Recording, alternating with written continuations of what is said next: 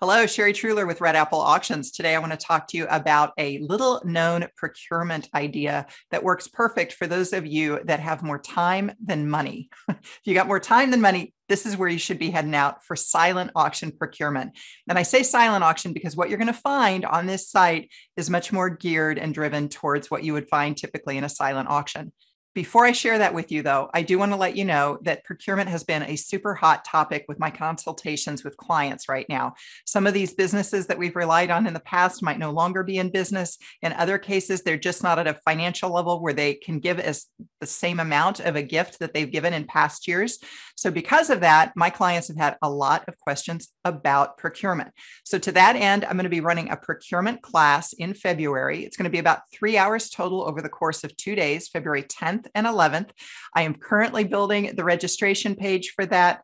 Who am I kidding? My team is currently building the registration page for that. I will let you know if you're on my newsletter list, you'll be able to sign up for that because I'll send you out an email. And if you're interested, you can go ahead and sign up.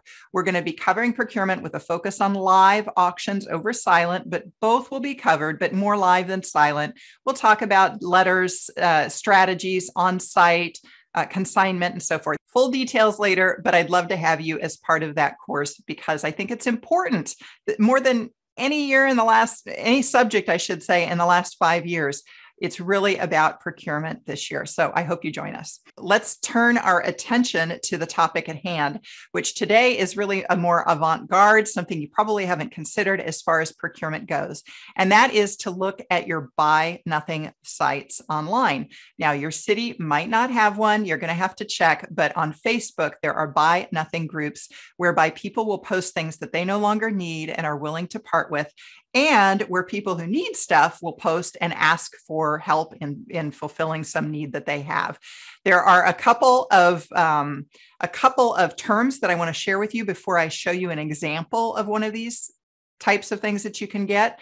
And one of them is what you'll see is PPU or PPO. It means porch pickup. So very often people will post something and say for uh, PPU, uh, I keep losing my video here for porch pickup only, meaning that you're not even going to have to interact with the person who's giving this item. You just need to go pick it up. In fact, I did that recently with a dog crate. I went over, it was on their porch. I just grabbed it and, and, went. Same thing when people are picking up from me. I usually tell them, hey, look at the white plastic chair. It's under that or on that, that sort of thing. The other term that I often see is simmer. So people will say, we're going to let this simmer for a couple of days. And when they mention that word, it means that they're going to see all of the people who said, yes, I'd love to have what you're offering. And they're either going to throw those names into a drawing and see who gets it, or they're going to go ahead and select from among the people who have written something and whomever they want to award their item to, they'll go ahead and give it. So let's say, well, we'll let this simmer for a couple of days and then we're going to decide who gets it.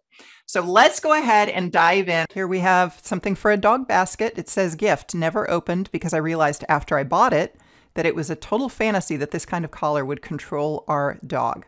Brand new mini crib mattress pad, Dr. Brown's bottle drying rack, stroller bunting, you know, for a baby basket.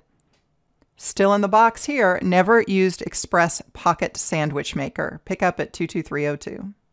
Here we've got a brand new scarf, never worn and super soft.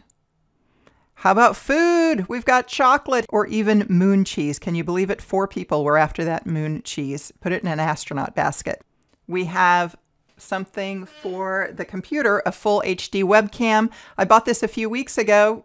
Didn't use it, can't return it, never been used. Let's turn to some lightly used things that might work for your event. Like this is a aromatherapy set, only used once. All the pieces are there, no box. Gifting this air fryer. Look at that, 20 people were after that air fryer. For a coffee basket, I see a lot of those. Here we've got some decor coffee things. And a digital camera deluxe starting kit. Had a couple of people interested in that. Free to anyone with a digital camera not bad, right? I mean, there's some stuff on there that you could use. Now, keep in mind, if you were looking at this over the course of six months leading to your auction, you could really get some good things there to round out some of your baskets. So I'm going to leave you with that today. If you're looking for some magic in your on site gala, please go ahead and schedule up an appointment. That's at redappleauctions.com and we can talk about your event. Or again, that procurement class coming up in February might be something that speaks to you, you want to get involved with as well. And I would encourage you to sign up as soon as we get the registration page up. As always, hey, good luck to you in your fundraising event.